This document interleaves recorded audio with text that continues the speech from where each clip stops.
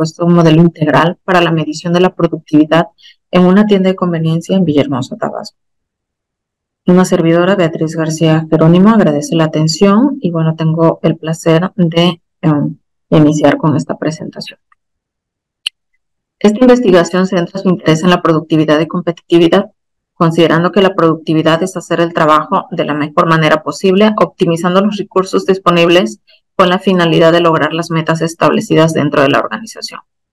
Es decir, si una organización quiere funcionar eh, de forma productiva y ser competitiva, se debe medir constantemente y aceptar todos los cambios que se están generando en su entorno eh, inmediato y su entorno eh, nacional y hasta internacional, ¿por qué no? Es así como surge esta investigación, donde se mide la productividad en una tienda de conveniencia en Villahermosa, Tabasco. En cuanto a la metodología se refiere, se trabajó en un instrumento de medición integral de la productividad para obtener información relevante a los avances logrados en la tienda de conveniencia. Después de hacer un análisis para la pertinencia del estudio, se decidió dividir la aplicación del instrumento por departamentos, seleccionando tres departamentos principales. Estos son recursos humanos, el área comercial y dirección de operaciones. A través de este instrumento se consideran los elementos que generan la productividad y se enfocan a la participación del capital humano para poder mejorar estas áreas logrando un crecimiento integral. El instrumento consta de ocho criterios fundamentales para la productividad. El primero es la satisfacción del cliente. Este módulo examina la efectividad de los sistemas para conocer, anticipar y exceder los requerimientos y necesidades completas de los clientes. Esto ocurre antes, durante y después de la entrega de los servicios. El criterio número dos nos habla de liderazgo. Este módulo examina el papel de la participación directa de la alta dirección como líder principal del proceso de mejora continua hacia la calidad total. También se analiza su visión, su compromiso en la forma como se diseña, inspira, cómo se implanta y evalúa la cultura eh, mediante la participación del personal y el funcionamiento y proyección a largo plazo.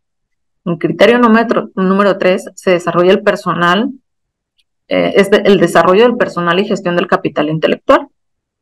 Este módulo examina los sistemas y prácticas con que cuenta la organización para identificar, estudiar y optimizar el potencial del personal, como el diseño de puestos, sus sistemas de trabajo, sus esquemas de compensación y reconocimiento, todos los sistemas de capacitación, el desarrollo de habilidades y actitudes, eh, la promoción de la salud, eh, la promoción de la satisfacción y motivación personal, así como la gestión del capital intelectual. El criterio número cuatro se habla de la administración de la información y de la tecnología. Este módulo examina eh, cómo se diseña, cómo se selecciona y administran los datos de la información. También examina la manera como se realiza su análisis y confiabilidad y la administración de la tecnología. En el criterio número 5 se habla de la planeación estratégica. Este módulo examina el proceso de planeación, así como la forma en que se desarrollan sus estrategias y definen sus objetivos estratégicos para eh, mejorar su desempeño global y su posición competitiva.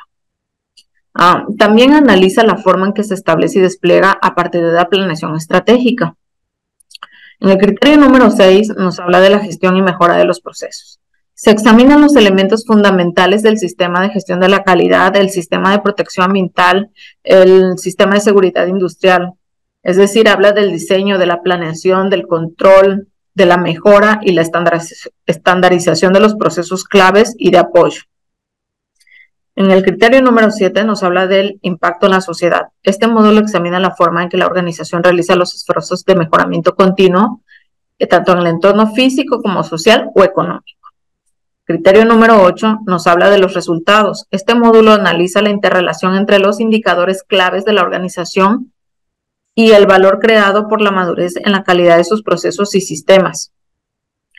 Ok, estos, um, estos ocho criterios um, se aplicaron en cada uno de los departamentos, ¿de acuerdo? Um, y nos dieron resultados que les quiero presentar en este momento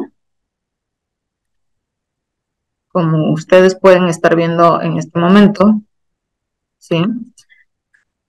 Estos fueron los resultados que se obtuvieron.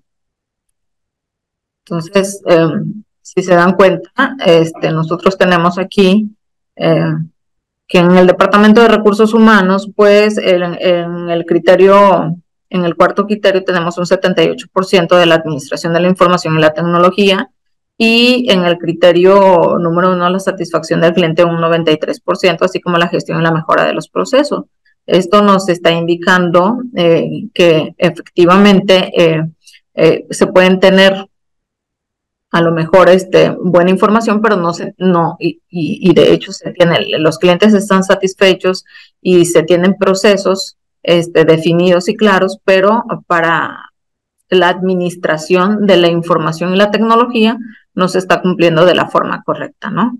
En el área comercial eh, tenemos el indicador o el criterio más bajo, en este caso es la satisfacción del cliente, o sea que hay que trabajar en esto. También tenemos el desarrollo del personal y gestión del capital intelectual, entonces hay que fortalecerlo.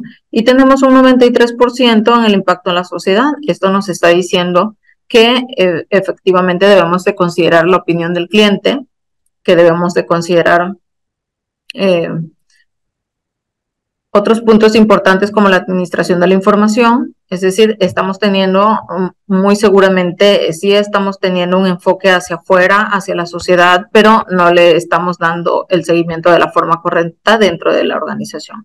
Y en dirección de operaciones, em, vemos por ahí que tenemos, sí, un porcentaje significativo eh, bajo, ¿no? Dentro del rango en el desarrollo del personal y gestión del capital intelectual, y un porcentaje bastante alto y significativo en la gestión y mejora de los procesos. ¿Qué quiere decir esto? Que sí tenemos procesos definidos, que sí tenemos, este, eh, que sí se están cumpliendo dentro de la organización, pero que nos hace falta fortalecer eh, y, una parte importante que es el desarrollo del personal y la gestión del capital intelectual. Eh, se necesita, son áreas de oportunidad en las que se necesitan trabajar. Muy bien.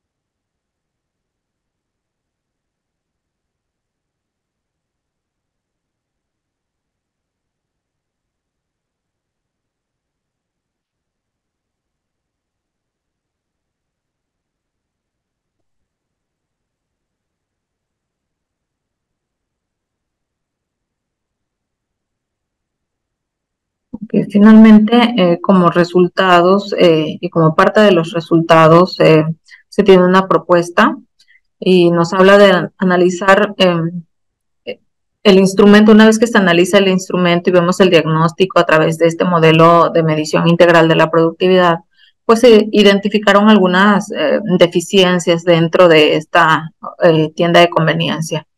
Y bueno, aquí se propone eh, con referencia a la administración de la información y de la tecnología, eh, que es donde se presentan estas áreas de oportunidad de mejora, eh, se propone tener una base de datos para planear, administrar y evaluar los procesos. El análisis consiste en el análisis es consistente, nos dice que es importante mantener información, la información y los datos eh, de esta organización una base de datos e incluir la retroalimentación de los clientes para fortalecer la parte interna ¿no? de la organización y que esto genere un impacto en que genere un impacto externo, es decir, que los clientes eh, puedan ser testigos de los cambios que la organización está, está gestionando para la satisfacción de, de ellos. Entonces, eh, al realizar este análisis se puede brindar a la organización oportunidades de mejoramiento. Y finalmente, como conclusión, pues en, el presente proyecto se plantea un modelo de mejoramiento de la productividad para esta tienda de conveniencia.